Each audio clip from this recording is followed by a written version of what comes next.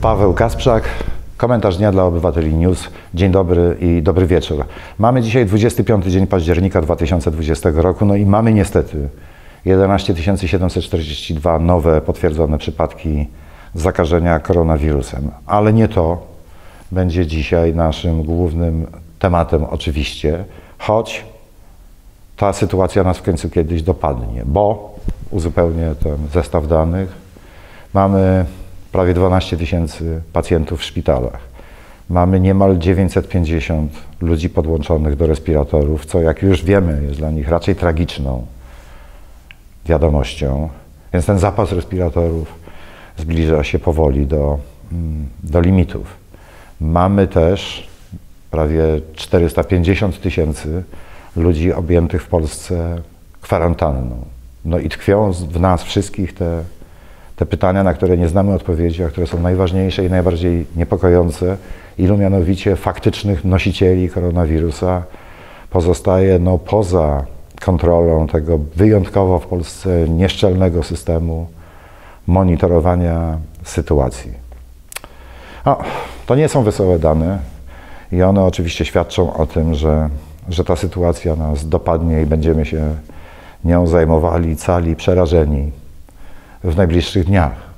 To bez wątpliwości. Natomiast dzisiaj jest niedziela. No i dzisiaj interesuje nas słowo na niedzielę, a w oczywisty sposób tym słowem na niedzielę, które dzisiaj obowiązuje, jest słynne słowo wypierdalać. No, słowo wypierdalać i jego zdumiewająca wszystkich e, kariera. Być może w politycznym mainstreamie, na pewno w politycznej publicystyce. Gazety przestały nawet wykropkowywać to słowo. E, w kulturowym mainstreamie bez żadnych e, wątpliwości. Myślę sobie, że niespecjalnie trzeba komentować ten fakt i jakby znaczenie tego słowa, ponieważ no, tych komentarzy padło już całe mnóstwo, a z całą pewnością większość z Państwa osobiście uczestniczy w rozmowach i być może sporach na temat tego, czy to słowo jest adekwatne, czy przesadzone, czy jest zbyt radykalne, czy właśnie odpowiednie, e, czy jest mądre, czy niemądre. To ostatnie oczywiście jest pewnie problemem najważniejszym. Ja się tylko czuję w obowiązku e, wyjaśnić to w ten sposób, że no, z całą pewnością ci z Państwa, którzy znają aktywność obywateli RP, również nawet tę taką bardzo e, konfrontacyjną, wiedzą, że, że myśmy się tego rodzaju sformułowań wystrzegali jak ognia i wystrzegaliśmy się przede wszystkim tej filozofii, która może stać za takimi określeniami. No ale jeśli to słowo adresować do ludzi władzy.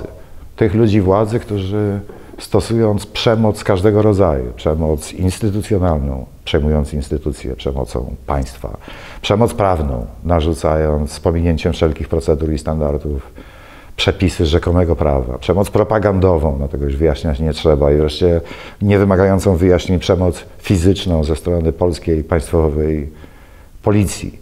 Jeśli ci ludzie władzy Robią to wszystko po to, by wszystkim nam narzucić coś, co już nie tylko depcze polskie prawo najwyższe, odbierając tej władzy legitymację, ale również usiłuje zrealizować coś, za czym opowiada się w Polsce bardzo radykalna mniejszość polskiego społeczeństwa, bo mniejszość polskiego społeczeństwa chce całkowitego zakazu aborcji, który właśnie usiłuje nam się zafundować, no to odpowiedź wypierdalaj. Jest w zasadzie jedyną właściwą odpowiedzią. Co więcej, słowo wypierdalaj jest również chyba jedynym adekwatnym, rozsądnym i po prostu racjonalnym programem politycznym. Jeśli ktoś uważałby, że słowo wypierdala jest nierozsądnie ostre i wpisuje się w tę logikę polskiej wojny, która nam wszystkim szkodzi, to akurat z tym poglądem miałbym jakąś skłonność się godzić. Ale przede wszystkim jesteśmy dzisiaj świadkami i uczestnikami rosnącego ruchu społecznego, którego źródłem jest podzielana przez nas wszystkich wściekłość. Ona się tak wyraża i na to nic nie poradzimy. A gdybyśmy nawet próbowali coś na to zaradzić, no to podcinalibyśmy tę gałąź, na której siedzimy wszyscy ten ruch, próbując budować, wspierać i rozwijać, bo to jest przede wszystkim zadanie do wykonania na dzisiaj. Czy wściekłość jest fundamentem wystarczającym, czy niewystarczającym, to to jest sprawa osobna i tym bym dzisiaj Państwu głowy nie zawracał. Chciałbym natomiast zwrócić uwagę na polityczne reakcje, które mieliśmy okazję dotąd zaobserwować. Otóż czytałem przed momentem w Gazecie Wyborczej e, reakcje Adama Szłapki, przewodniczącego Nowoczesnej, które dotyczyły brutalnych interwencji policji. Adam Szłapka nazwał je skandalicznymi, niedopuszczalnymi i nieakceptowalnymi. To mi przypomina Raymond Aron. Był taki francuski, wybitny, polityczny filozof, publicysta, w niektórych momentach również aktywny polityk, który się znał na dyplomacji, który wielokrotnie komentował, słysząc a właśnie dyplomatyczne oświadczenia o tym, że coś jest nie do zaakceptowania, jest niedopuszczalne i nigdy nie będzie na to zgody, Otóż zdaniem Arona, słusznym oczywiście, to zawsze był wyraz takiej politycznej, dyplomatycznej bezradności w stosunkach międzynarodowych. Takie zdanie o tym, że coś jest niedopuszczalnym skandalem, zawsze, zawsze świadczyło o tym, że innej reakcji na ów skandal nie będzie, bo być nie może, bo nie ma instrumentów. Otóż chcę powiedzieć, że no Adam Szłapka i wszyscy polscy e, politycy opozycji, członkowie parlamentu, mają inne możliwości odpowiedzi. Parlamentarzystów opozycji jest w Polsce 200. Każdy z nich jest nie tylko wybranym i dysponującym demokratycznym mandatem przedstawicielem polskich obywateli, ale również ma legitymację poselską, immunitet i nietykalność posła. Tych 200 parlamentarzystów opozycji powinno za każdym razem, kiedy przez miasto Warszawa idzie marsz protestu, uznawany przez policję za nielegalny, blokowany i przemocą rozbijany, tych 200 parlamentarzystów opozycji powinno iść na czele tego marszu i być jego żywą tarczą. Moglibyście nas, szanowni państwo, efektywnie obronić przed atakami policji. Albo moglibyście państwo razem z nami poddać się policyjnej przemocy na oczach aparatów fotograficznych i kamer. I wtedy w świat poszedłby ten obraz, ta polityczna puenta polskiej sytuacji, na którą my Polacy a zwłaszcza ci, którzy są aktywni w ruchu protestu, ze, ze wszechmiar zasługujemy. To jest taka puenta, która pokazuje stan polskiej praworządności i stan polskich praw człowieka, dysponujący poselskim immunitetem, chroniony przez poselską nietykalność parlamentarzysta, wynoszony przemocą z miejsca pokojowej demonstracji przez reżimową policję. To jest ten obraz, który moglibyście światu dać i na który my czekamy. I jest jeszcze drugi polityczny przykład politycznej reakcji na bieżące wydarzenia, który mnie zażenował jeszcze bardziej. Mam mianowicie na myśli wczorajszą demonstrację m.in. Rafała Trzaskowskiego i Barbary Nowackiej na ulicy Nowogrodzkiej pod hasłem Mamy dość. Ach, na miłość boską Rafał Trzaskowski jest prezydentem miasta Warszawy. A w mieście Warszawa znajduje się szpital bielański, potężny szpital, w którym jest też oddział ginekologii i położnictwa, i w którym dyrekcja tego szpitala wydała zalecenie swojemu personelowi, no właśnie temu ginekologiczno-położniczemu, by powstrzymać po orzeczeniu, czy też oświadczeniu pani magister Przyłębskiej wszelkie zabiegi, które ona mogła mieć na myśli. Panie Trzaskowski, pańską funkcją jest nie to, żeby się żalić przed siedzibą Kaczyńskiego, że ma pan dosyć jego tam obecności. Pańską rolą jest to, by Szpital Bielański wykonywał to, co powinien wykonywać. Od tego Pan jest. No i całą tę sytuację można i niewątpliwie trzeba uogólnić. Jeśli politycznym programem dzisiaj jest to słowo wypierdalać, to jak to się powinno przekładać na aktywność i obecność naszych reprezentantów, naszych opozycyjnych reprezentantów w polskim parlamencie? Co oni tam powinni robić? W tym budynku, w którym odbywają się jakieś rzekome bardziej niż rzeczywiste głosowania, bo wynik ich jest znany z góry. W tym budynku, w którym te głosowania w każdym przypadku, już chyba bez ani jednego wyjątku, dotyczą postanowień łamiących polskie prawo najwyższe. I w tym budynku, który ze złamaniem również polskiego prawa najwyższego otaczają barierki One służą egzekwowaniu tego zakazu sejmowego, który pozbawia niewielką, co prawda, ale jednak część obywateli gwarantowanych im konstytucyjnie politycznych praw.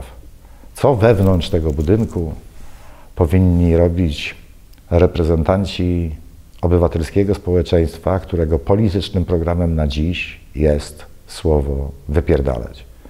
Nie chcę tym razem niczego proponować ani o niczym przesądzać. Ja po prostu pytam i uważam, że to pytanie jest w dzisiejszej polskiej sytuacji śmiertelnie ważnym i najpoważniejszym pytaniem. I kolejna rzecz, którą chciałbym zająć Państwa uwagę przez chwilę, ostatnia już, dotyczy tego pytania, które jest niewątpliwie najważniejsze i najtrudniejsze, tego pytania, jak to zrobić. Czy jak wypierdolić władzę, albo też jak e, obronić te śmiertelnie zagrożone m, prawa kobiet. No, tego dotyczył mój, mój, mój wczorajszy komentarz dnia, którego co prawda nie nagrałem dla Państwa na wideo, ale zawarłem w tekście który się pokazał w Gazecie Wyborczej i jest dostępny na stronie Obywateli News. Linki znajdą Państwo poniżej w komentarzu. To jest ten pomysł referendum, takiego referendum zrealizowanego w stylu, jak to nazwałem i wciąż nazywam katalońskim, czyli, czyli referendum nie odbywającego się dlatego, że zarządziła je władza, ale, ale takiego referendum, które organizujemy sobie sami wbrew spodziewanego sprzeciwu e, władz. I już teraz nie chcę się wdawać w jakieś strategiczne e, dywagacje. Chcę tylko odpowiedzieć na komentarze, które pod tym pomysłem e, zobaczyłem wczoraj i widzę je e, do dzisiaj. W tym również to są komentarze polityków, bo na przykład jeden z nich, też bardzo charakterystyczny, wypowiedziała Agnieszka Dziemianowicz-Bąk. I ona powiedziała coś, co mówi bardzo wielu ludzi i bardzo wiele kobiecych aktywistek, że prawa kobiet to nie jest coś, nad czym można głosować, to jest coś, co należy po prostu uznać. No owszem, chcę zwrócić uwagę jednak przy tej okazji, że dosyć podobny, choć przeciwstawny pogląd wypowiadał swego czasu e, pan poseł Marek Jurek. On mianowicie mówił, że etyka to nie jest coś, co podlega głosowaniu. I powiedziawszy to, opuścił, porzucił wtedy apanarze władzy, bo to było w czasach pierwszego rządu PiS, tego przed 2007 e, e, rokiem. Marek Jurek protestując przeciw temu właśnie, że PiS nie podjął się e, ustawowej regulacji zakazu aborcji, opuścił rządzącą wówczas koalicję z gniewem trzaskając drzwiami.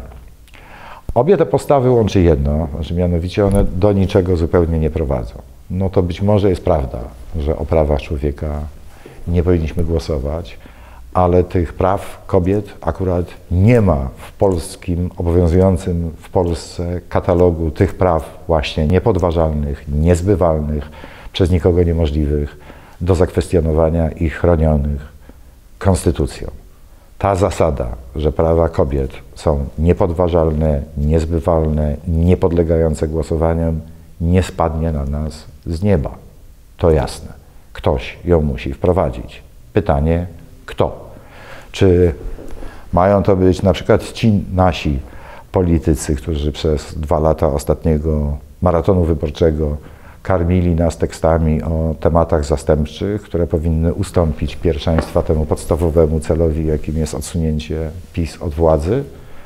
Czy może mają to zrobić ci ludzie, którzy byli autorami tego tak zwanego kompromisu aborcyjnego, czyli rozwiązania już abstrahując od jego okrutnie restrykcyjnej treści, ono zostało nazwane kompromisem, a ten kompromis zawarło paru niewyjaśnionych facetów w czyimś zamkniętym gabinecie. Drugą stroną tego kompromisu byli, jak należy mniemać, biskupi Kościoła katolickiego w Polsce. Natomiast z całą pewnością nie była drugą stroną tego kompromisu żadna z polskich kobiet. Znaczy oni mają tę zasadę wprowadzić jako obowiązującą i nadrzędną nad polskim systemem prawnym, to dla mnie ani dla nikogo w Polsce w żadnym stopniu jasne nie jest. Ktoś tę zasadę wprowadzić musi. No i w tekście powoływałem się na, na referendum irlandzkie. No tam akurat jakoś niczyich wątpliwości nie budziło to, że nagle ludowe referendum, ogół wszystkich obywateli decydował o, o tych samych przecież najbardziej fundamentalnych prawach kobiet. No ale chcę też podać kolejny przykład. Otóż w Szwajcarii Prawo do głosowania dla kobiet uchwalono dopiero w 1971 roku. Szwajcaria była takim no, bardzo mieszczańskim i kołtuńskim e, społeczeństwem i dopiero w 1971 roku przyznano w nim prawa wyborcze kobietom. No ale bardziej interesujące jest pytanie, kto to zrobił mianowicie. No zrobiono to w referendum, w powszechnym głosowaniu, w którym, uwaga, udział brali wyłącznie faceci, bo tylko oni mieli prawo głosu. Czy to jest skandal? No, oczywiście. To jest w najwyższym stopniu oburzające. Tylko ktoś tę decyzję musiał podjąć. I ktoś tę decyzję musi podjąć również w Polsce. To, co próbuję zaproponować, proponując referendum, właśnie takie obywatelskie, które odbywa się w ten sposób, no, że być może ślemy do Sejmu wniosek z milionem podpisów, no pół miliona jest wymagane. I oczywiście PiS to odrzuca. E, I wtedy my je robimy sobie sami, jak to zrobiono właśnie w Katalonii. No to jest taki akt zbiorowej woli Polaków, którzy biorą sobie władzę. Tę władzę, która im się należy zgodnie z artykułem 4 ustęp 2 polskiej konstytucji, tam gdzie jest mowa o tym, że władza w Polsce należy do narodu poprzez przedstawicieli lub bezpośrednio. No właśnie tę władzę proponuje sobie wziąć i w ten sposób dokonać tej polskiej najbardziej potrzebnej i najpilniej potrzebnej przemiany, która, no, która akurat w tym przypadku zrealizuje te bardzo podstawowe prawa kobiet, więc prawa połowy polskich obywateli. Te władze, takie mam marzenie, chciałbym, żebyśmy sobie po prostu wzięli. To jest ta władza, która nam się zgodnie z konstytucją należy i której odmawiają nam politycy, równocześnie sami tej władzy w bardzo skrajny sposób nadużywając. Nie tylko wtedy, kiedy nam próbują zakazać aborcji, ale również wtedy, za każdym razem, kiedy się powołują na rzekomy kompromis aborcyjny albo opowiadają nam o tematach zastępczych albo o kwestiach światopoglądowych wtedy, kiedy mowa jest nie o ich światopoglądzie, który, przepraszam bardzo, ale jest najmniej istotnym problemem w całym tym zamieszaniu, ale o najprawdziwszym ludzkim cierpieniu, o bardzo konkretnej krwi, pocie i łzach.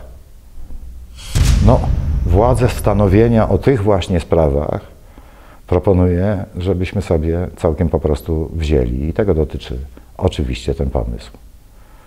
Dziękuję Państwu bardzo.